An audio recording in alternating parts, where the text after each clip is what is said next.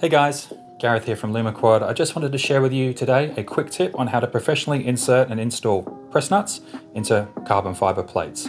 So in order to do this, you're gonna need your plate, obviously, the press nut, an M3 washer, and also an M3 bolt.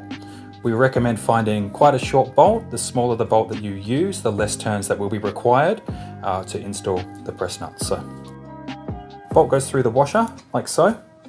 You then grab your press nut, this is one of our Luma 55 frames and you hover the press nut over the hole which you want to have it installed into.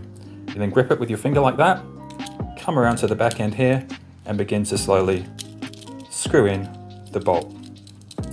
What I then do is I flip it back over and I use my nail just to hold the press nut securely where we want it to be.